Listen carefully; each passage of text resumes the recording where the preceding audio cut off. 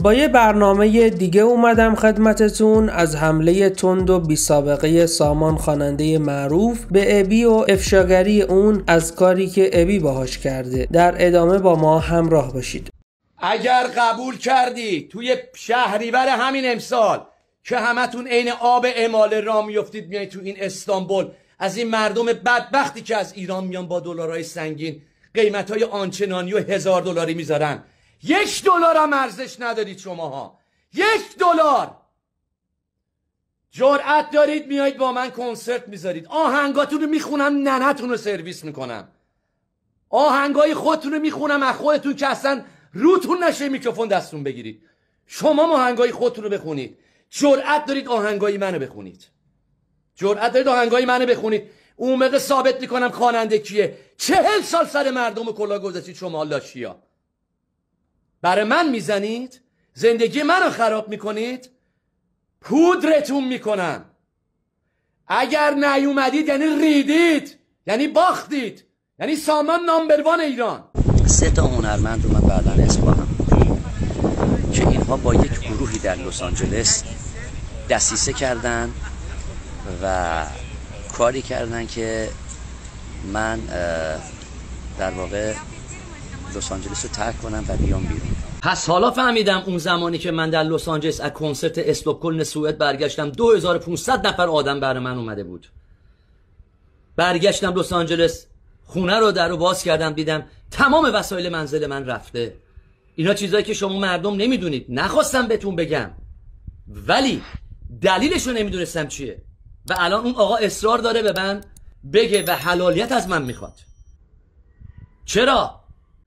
بچه با زندگی من بازی کردید؟ در به در کردید؟ دوازده سال برم تو امارات تو جاهای بیغوله و کوچیکی در شخصیت من نیست بخونم. ده سال برم ایران به خاطر مجوز که به مجوز زنن دوباره برگردم بیام اینجا.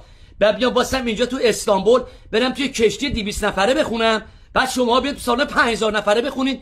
پول تو جیبتون این ویدیوها که سامان با عصبانیت هرچه تمامتر درباره خواننده های بزرگ و پیشکسوت ایرانی حرف زده مدتی پیش منتشر شده بود. اون به آقای ابی و آقای داریوش حمله تندی کرد و گفت اینا برنامه ریزی کردن که منو زمین بزنن. اون حتی در استوری هاش هم ویدیوی کوتاهی رو از خوندن آقای ابی منتشر کرد و نوشت نامرد خائن. حالا امروز ویدئویی منتشر کرده و به ابی گفته تو دوئل رو باخت. با همین ویدیو رو ببینیم. با سلام به مردم عزیز ایران. این پستی که می‌ذارم برای آقای ابراهیم حامدی هستش. جناب آقای ابراهیم حامدی هنرمند پیشکسوت پستی که از من در چند ماه پیش دریافت کردید و تمام شبکه های مجازی پخش شد دلیل ناراحتی من به خاطر مسائلی بود که در گذشته در مورد من انجام شده بود که یکی از اون هنرمندا شما بودید. و من از دست شما ناراحت شدم و برای شما پستی گذاشتم و شما رو دعوت به دوئت کردم. از شما جوابی دریافت نکردم. امشبم می‌دونم در استانبول کنسرت دارید. هنوزم منتظر هستم. ولی می‌دونم که شما هیچ وقت به من زنگ نخواهید زد چون می‌دونید که خواهید باخت و شما بازنده هستید. فقط خواستم این به مردم ثابت بشه.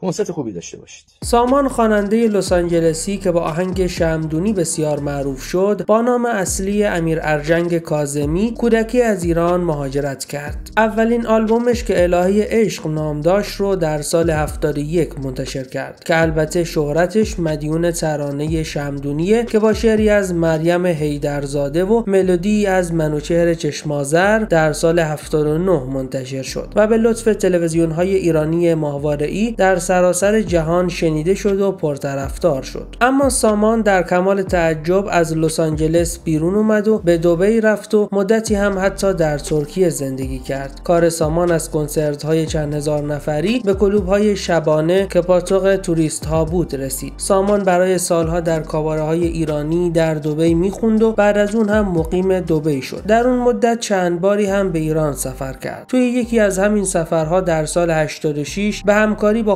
خوانندگان زیرزمینی از جمله یاس هم پرداخت و ترانه مشترکی هم با اون منتشر کرد. اون در مورد حضورش در ایران گفته بود دوست دارم در وطن خودم زندگی کنم و همونجا فعالیت کنم. نه اهل کار سیاسی هستم و نه اصلا به این مسائل اهمیت میدم. اون در ایران آلبوم جدیدی رو هم ضبط کرد و سعی در گرفتن مجوز از وزارت ارشاد داشت. اون در مراسم خاکسپاری بازیگر پیشکسوت ایرانی ناصر ملک مطیعی هم حضور داشت که انتشار عکس های اون بسیار خبرساز شد. اون در سال 91 به امید فعالیت در کشورش به ایران برگشت و به امید اینکه بتونه با گرفتن مجوز به شکل قانونی در وطن خودش کار کنه و حتی کنسرت های چند هزار نفری برپا کنه در ایران موندگار شد. در مدتی که در ایران حضور داشت اما وزارت ارشاد مدام به اون جوابهای سربالا می‌داد. اون هم مجبور شد برای امرار معاش توی مراسم عروسی و در باغهای اطراف تهران حضور داشته باشه و حتی در بعضی از سفرهخونه های سنتی هم در قبال دریافت پول ناچیزی اجرا می‌کرد. اون امیدوار بود که مثل فریدون آسرایی بتونه مجوز فعالیت بگیره و در کشور خودش کار کنه. اما بعد از حدود ده سال بلا تکلیفی و ناتوانی از دریافت مجوز مجبور به ترک ایران شد. اون همچنین در بهمن 98 در حال اجرا در سفرهخونه در شمال تهران در منطقه جردن بازداشت شد و بعد از آزادی ایران رو برای همیشه ترک کرد. و حالا هم چندین ساله که در استانبول زندگی می‌کنه و همچنان به کارش در ترکیه و دبی ادامه میده. اون در مصاحبه ای در مورد سکوت طولانی چندین سالش و مصاحبه نکردنش گفت واقعیتش اینه که پایگاه همه هنرمندان ایرانی لس آنجلس بوده. همه ایرانی ها بعد از انقلاب می‌رفتن لس آنجلس. اما خب من نمی‌دونم چجوری بقیه ازشون حمایت میشه اما من هیچ حمایتی از همکارام ندیدم. هیچ رسانه ای هم با من همکاری نکرد. ما خواننده زیاد داشتیم. خیلیاشون کلی پول داشتن خرج کردن اسپانسر گرفتن. ولی در مورد من واقعا ناحقی شد. حالا نمی‌دونم دلیلش واقعا چی بود اما به نظر خودم دلیل اصلیش این بود که من پولدار نبودم. تلویزیون شبخیز بود جام جم بود. بعدش هم تلویزیون امیر قاسمی و تپش اضافه شد. ولی بیشتر سر و کار من با شبخیز بود. اون هم که کارش بستگی به پول داشت. هر کمپانی که با هر هنرمندی کار می‌کرد اگر پول به شبخیز می‌داد شبخیز کارهاشون رو منتشر می‌کرد. یعنی می‌خوام بگم توی لس آنجلس هیچ کسی دلی کار نمی‌کنه. هر چقدر پول بدی همونقدر در مورد تبلیغات می‌کنن و حرف می‌زنن و هر روز معروفتر میشی. اون زمان اگر می‌خواستی عکس روی جلد مجله جوانان بره باید 3000 دلار می‌دادی. اینترنت و اینستاگرام هم که نبود. یا باید توسط شبکه های ماهواره ای تبلیغ می‌شدیم یا باید پول می‌دادیم مافیای موسیقی اینقدر برامون کنسرت میذاشتن تا همه مردم ما رو می‌دیدن. من واقعا از لس آنجلس دلچرکین شدم. مردم که گناهی ندارن. اگر من رو فراموش کردن به خاطر اینه که تبلیغات و پول نبوده. من مصاحبه ای نکردم کنسرتی نذاشتم و مردم آگاه نبودند. وقتی رسانه ها ساپورت نمی‌کنن مردم از کجا باید منو بشناسن؟ ممنونم که تا پایان این برنامه هم با من همراه بودید و با لایک و کامنت هاتون از ما حمایت می‌کنید. پیشنهاد می‌کنم یکی از ویدیوهای روی صفحه رو تماشا بفرمایید. خدا نگهدار.